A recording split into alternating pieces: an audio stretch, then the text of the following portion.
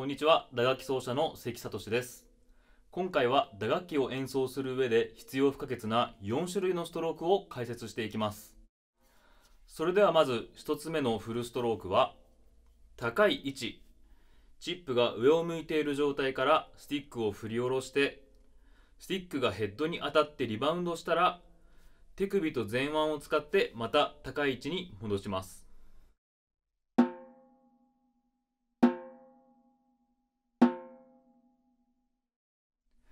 先月の動画でもお話ししたようにアタックの瞬間に力が入っているとリバウンドしなかったり音色が汚くなってしまうので気をつけてください。リバウンドした後は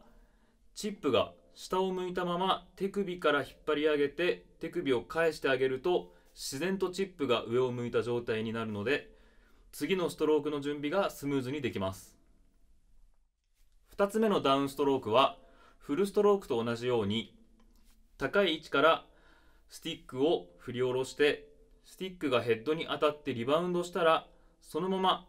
低い位置で止めます。この時もチップが下を向いていると次のタップストロークやアップストロークにつながりやすいです。体の動きは近くにいる人にボールを軽くパスする時のような動きに似ています。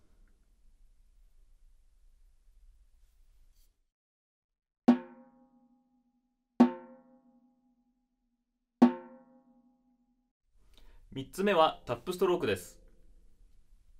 低い位置からスティックを落としてヘッドに当たってリバウンドしたスティックをそのまま低い位置で止めます。ドアを軽くノックする時のような手首の動きです。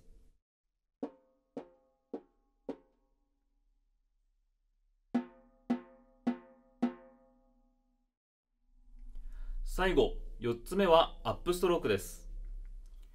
低い位置からスティックを落としてヘッドに当たってリバウンドしたスティックを手首と前腕を使って高い位置まで引き上げます。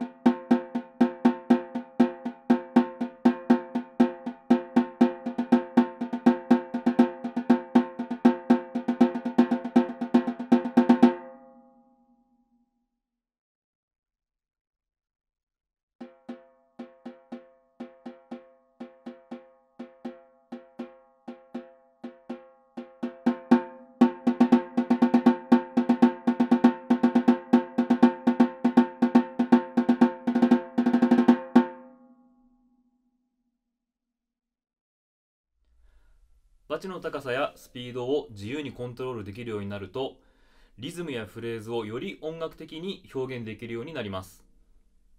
フレー2についても紙面で解説をしていますのでそちらも合わせて読んでいただけるとより分かりやすく理解を深めてもらえると思います。ぜひチャンネル登録とグッドボタンもよろしくお願いします。それではまた次回お会いしましょう。